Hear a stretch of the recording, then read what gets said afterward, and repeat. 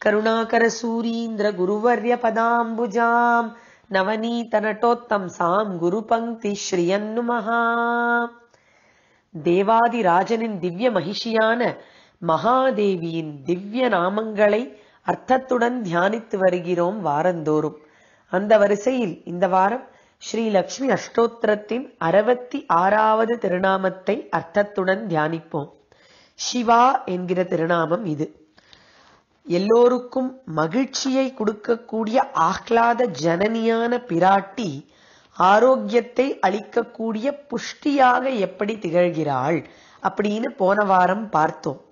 இந்த வாரம் பிராட்டி எப்படி எல்லோருக்கும் ஆசிரயமாக இருக்கிறாள் அப்படின்னு பார்க்கலாம்.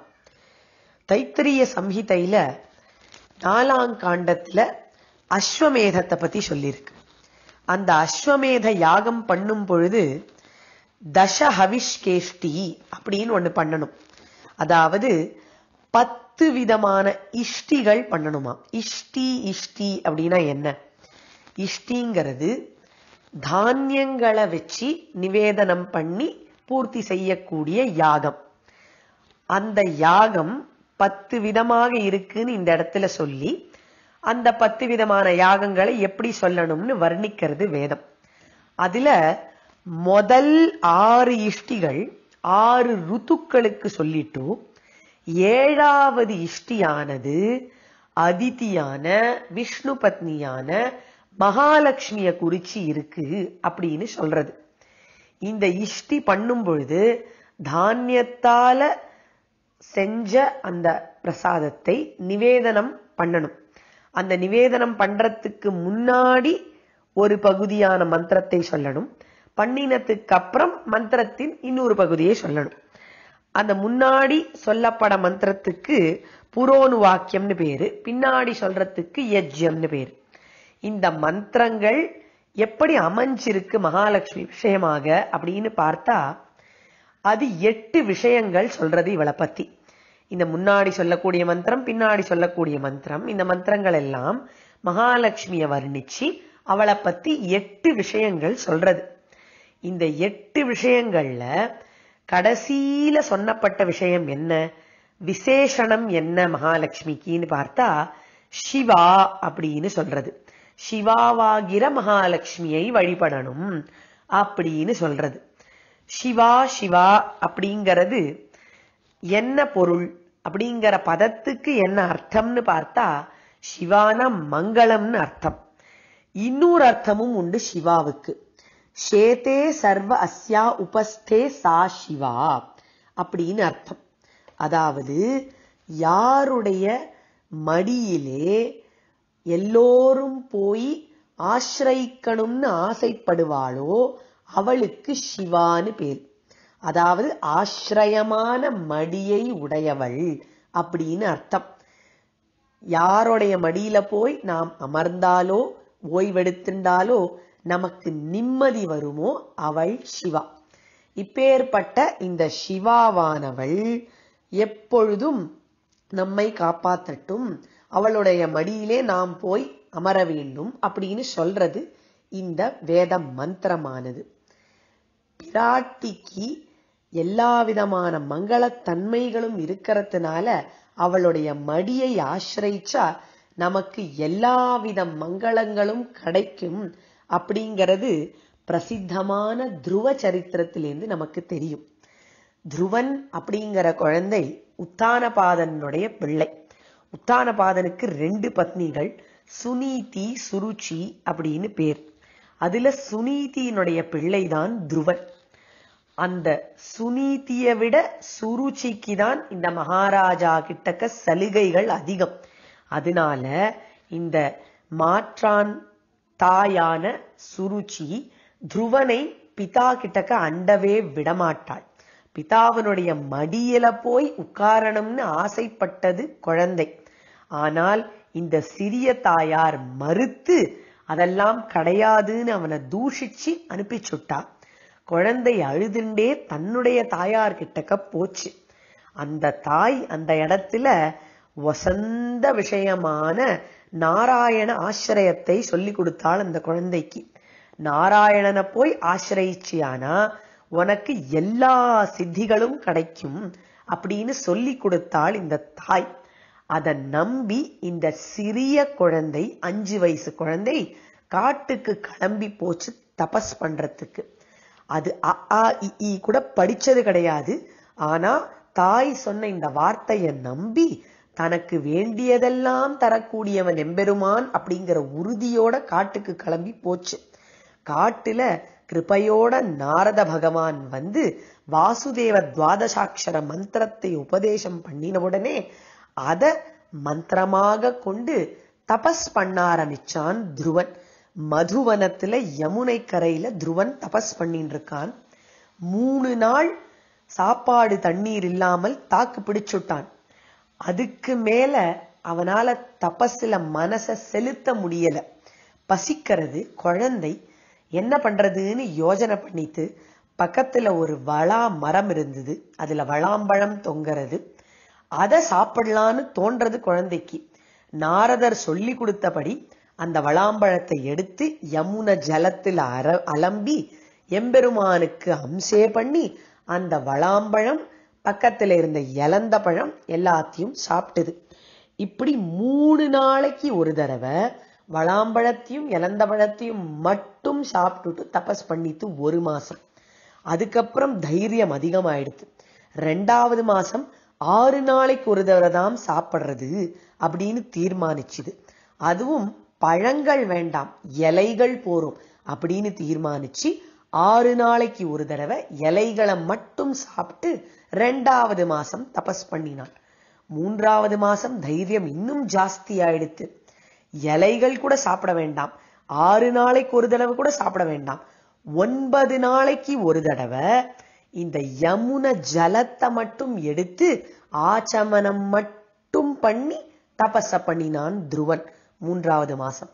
நான்காவது மாசம் இன்னும் வீரியம் ஜாஸ்தி ஆயிடுது ஒன்பது நாளைக்கு ஒரு தடவை தண்ணீரை எல்லாம் பருக வேண்டாம்.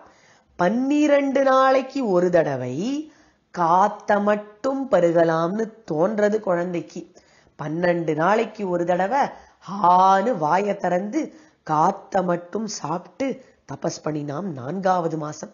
ஐந்தாவது மாசம் எதுவுமே பருகாமல் மூச்சை கூட அடக்கிண்டு கட்ட மாதிரி தபஸ் பண்ணானா ஐந்து வயசு குழந்தையான துருவன். இத பார்த்த உடனே இந்த தேவர்களுக்கெல்லாம் நடுக்கம் வந்துடுத்து. ஏன்னா அபாரமான தேஜஸ்வியா இருக்கான். இவனுடைய தபஸ்னுடைய சூடு இவாளுக்கெல்லாம் தகிக்கிறது. போய் எம்பெருமான் கிட்டக்க பிரார்த்திச்சாளாம். உம்மை குறிச்சிதான் தபஸ் பண்றான். தயவு செஞ்சு தபஸை நிறுத்தும் அப்படின்னாளாம். தபஸ நிறுத்தணும்னா அவன் கேட்கறத கொடுக்கணும். கொடுக்கட்டுமா? என்ன வேணா கொடுக்கலாமான்னு கேட்டார் எம்பெருமான். தேவர்களெல்லாம் என்னவனா கொடுங்கோ தபஸ நிறுத்தினா போரும்னு சொல்லிட்டா. இந்த வார்த்தையை அவ வாயிலேந்து வாங்கணுமா? அதுக்காக மெனக்கெட்டு எம்பெருமான் இப்படி ஒரு யுக்தி பண்றான். ஏன்னா தேவர்களுடைய தலைக்கு மேல வைக்க போறான் இந்த குழந்தை.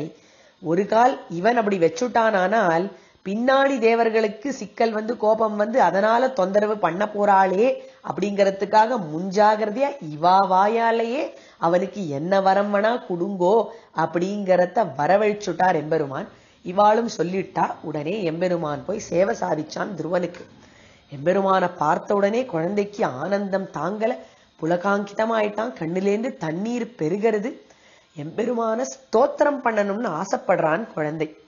ஆனா இவன் தான் ஏ படிச்சது இல்லையே ஸ்லோகம் பாடணும்னா எங்கேந்து வரும்? அப்போதான் எம்பெருமான் அழகா ஒரு உபாயத்தை பண்ணினான். பஸ்பர்ஷபாலம் கிருபையாக்க போலே தன்னுடைய கையில இருந்த பாஞ்சஜன்யத்தை எடுத்து அவனுடைய கன்னத்துல வருடி விட்டானாம். உடனே இந்த குழந்தை அற்புதமான கவிதை பாட ஆரம்பிச்சு. பாஞ்சஜன்யம் அப்படிங்கிறது ஞானத்துக்கே இருப்பிடமாகும். அதனால தடவினத்தினால அற்புதமான கவிதை பாடுறான் துருவன். யோந்த பிரவிஷ்ய மம வாச்சமிமாம் பிரசுப்தாம். சஞ்சீவயத்யகில சக்தி தரஸ்வதாம்னா அந்யாம்ச்ச ஹஸ்தச்சரண ஸ்ரவணத்வகாதீன் பிராணான்னமோ பகவதே புருஷாய தஸ்மை. இவன் பாடுற ஸ்லோகம் அற்புதம். இவன் சொல்றான் எந்த எம்பெருமான் எனக்குள்ள பூந்து தூங்கின்றிருந்த என்னுடைய வாக்கை எழுப்பினானோ எவன் எல்லாத்துக்கும் சக்திதரனாக இருக்கிறானோ எவன் என்னுடைய கர்மேந்திரியங்கள் ஞானேந்திரியங்கள் எல்லாத்தையும் இயக்குகிறானோ அந்த புருஷனான எம்பெருமானை வணங்குகிறேன் அப்படின்னு பாடினான். துருவனுடைய வாக்குல இப்பேற்பட்ட ஒரு வார்த்தை வந்ததுக்கு என்ன காரணம்? இதுதான் ரகசியம். பிராணான்னமோ பகவதே புருஷாய தஸ்மை நான் துருவன். புருஷன் புருஷன் அப்படிங்கிறது யாரு? காந்தஸ்தே புருஷோத்தமஹா அப்படின்றார் ஆள வந்தார். எவனுக்கு புருஷன்னு பேரு? யார் மகாலட்சுமியினுடைய கணவனோ அவன்தான் புருஷன் புருஷோத்தமன். அப்பேற்பட்ட மகாலட்சுமியினுடைய கணவனாகிற எம்பெருமான் தான் எனக்குள்ள பூந்து என் வாக்காலே அவனை பாட வைத்தான்கிறான் துருவன். இந்த இடத்துல இவனுடைய வாக்கானது வாக்காக ஆனத்துக்கு காரணமே வாக்கு தான் என்ன பொருள்னா இவனுடைய வாக் அதாவது பேச்சு திறமையானது உண்மையிலேயே உபயோகமுள்ளதாக ஆனத்துக்கு காரணம் வாக்குன்னு பெயர் கொண்ட மகாலட்சுமி தான். அதனால்தான் அந்த மகாலட்சுமியின் கணவனான புருஷனை சேவித்தேன் அப்படின்னு சொன்னான் துருவன். இப்படி மகாலட்சுமியை வழிபட்ட இந்த துருவனுக்கு என்ன என்ன இடங்கள்லாம் கிடைச்சிதுன்னு பார்க்கணும். எம்பெருமான் இவனை பார்த்து அனுகிரகம் பண்ண ஆரம்பிக்கிறான். குழந்தாய் எதுக்காக தபஸ் பண்ண? அப்படின்னு கேட்கிறான். குழந்தைக்கு என்ன தோன்றது? எம்பெருமானே என்னை உன்னோட சேர்ந்து அழிச்சுன்னு போயிடு அப்படின்னு கேட்கணும்னு ஆசையா இருக்கான். ஏன்னா இந்த அஞ்சு மாச தபஸ் இவனுடைய மனசை தூய்மையாக்கி எடுத்து இனி இந்த இகலோக சௌக்கியங்கள் இந்த ராஜ்யம் அப்பா மடி இதெல்லாம் அவனுக்கு பெருசா தெரியல. எம்பெருமானோடயே போகணும்னு நினைக்கிறான். ஆனா எம்பெருமான் முதல்லயே சொல்லிட்டான் உன்னுடைய ஆசை எனக்கு தெரியும். ஆனா படிப்படியா உனக்கு இந்த ஆசையை நிறைவேற்றுறேன். முதல்ல நீ ஆசைப்பட்ட உன்னுடைய அப்பா மடியாகிற ஸ்தானம் உனக்கு கிடைக்கும். அதுக்கப்புறம் நல்ல சிம்ஹாசனமாகிற ராஜ்யம் உனக்கு கிடைக்கும். அந்த ராஜாவாகிற ஸ்தானம் உனக்கு கிடைக்கும். அது எல்லாத்துக்கும் மேல தேவர்களுக்கெல்லாம் மேல துருவஸ்தானம் அப்படின்னு ஒரு தூய்மையான பெருமைக்குரிய ஸ்தானம் உனக்கு கிடைக்கும். அதற்கு பிறகு என்னை வந்து அடைவாய். மோட்சமாகிற ஸ்தானமும் உனக்கு கிடைக்கும் அப்படின்னு சொல்றா. அதனால மகாலட்சுமியை வணங்கி வழிபட்டால் அவளுடைய மடியாகிற ஸ்தானம் மங்கள ஸ்தானத்தை நாம் போய் அடைந்தால் நமக்கு எல்லா விதமான நல்ல ஸ்தானங்களும் கிடைக்கும் வாழ்க்கையில் அப்படின்னு தெரியறது துருவனுடைய சரித்திரத்திலிருந்து. இந்த மந்திரத்தை சிவா அப்படின்னு சொல்லி வழிபடும் பொழுது அடியனுடைய ஆச்சாரியன் சொல்லுவார் நம்ம ஒரு விஷயத்த ஞாபகம் வச்சுண்டு வழிபடணுமா? என்ன விஷயம்னா பிராட்டியினுடைய மடி நமக்கு ஆசிரியம்னு நினைக்கணும். அது எதை மாதிரி ஆசிரியம் தெரியுமா? பிராட்டி எப்படி தன்னுடைய தகப்பன்மார்களுடைய மடியை ஆசிரியிச்சுருந்தா அப்படின்னு ஞாபகம் வச்சு ஆசிரியிச்சா அவளுக்கு மனசு சந்தோஷமா இருக்குமா? பிராட்டி பல அவதாரங்கள் எடுக்கிறா. பிருகு மகரிஷிக்கு புத்திரியா பார்கவியா இருக்கா ஜனகருக்கு புத்திரியா சீதையா இருக்கா பீஷ்மகருக்கு புத்திரியா ருக்மிணியா இருக்கா மார்க்கண்டேய மகரிஷிக்கு புத்திரியா பூமாதேவியா இருக்கா ஹேம ரிஷிக்கு புத்திரியா கோமலவல்லியா இருக்கா பெரியாழ்வாருக்கு புத்திரியா ஆண்டாளா இருக்கா இவள் இப்படியெல்லாம் புத்திரியா இருந்த பொழுது தன்னுடைய பிதாவனுடைய மடியிலிருந்து விஹரிச்சதை ஞாபகம் வச்சுண்டு நாம் அவள் மடியிலே விஹரிப்போம் அப்படின்னு நினைச்சுண்டு இந்த மந்திரத்தை சொல்லணுமாம். இத சொன்னா பிராட்டி மனசு ரொம்ப ரொம்ப உகக்கும்னு தெரியறது இன்னொரு சுவாரஸ்யமான விஷயம் இந்த மந்திரத்துல என்னன்னா இந்த இஷ்டிகள் எல்லாம் தானியத்தால செய்யக்கூடிய நிவேதனத்தை கொடுக்கிறது அப்படின்னு சொன்னோம்.